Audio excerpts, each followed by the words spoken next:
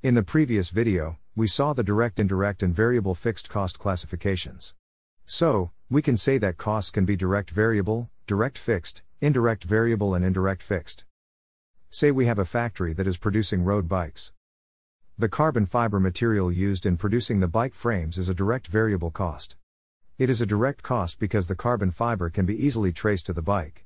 In other words, we can say that each bike frame requires X kilograms of carbon fiber. Also, it is a variable cost because as the number of bikes produced changes, the amount of carbon fiber used in producing the frames changes proportionately.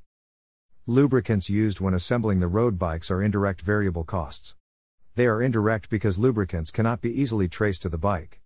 It would be extremely difficult to determine the share of each bike from the lubricants.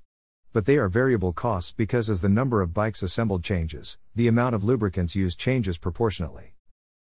The salary of the bike assembler who does nothing else other than assembling the bikes is a direct fixed cost.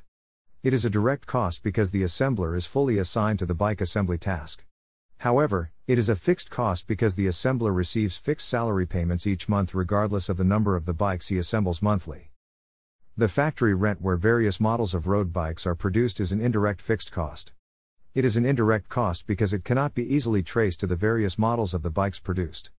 And it is a fixed cost because rent is a fixed payment that is made periodically regardless of the number of bikes produced in that factory.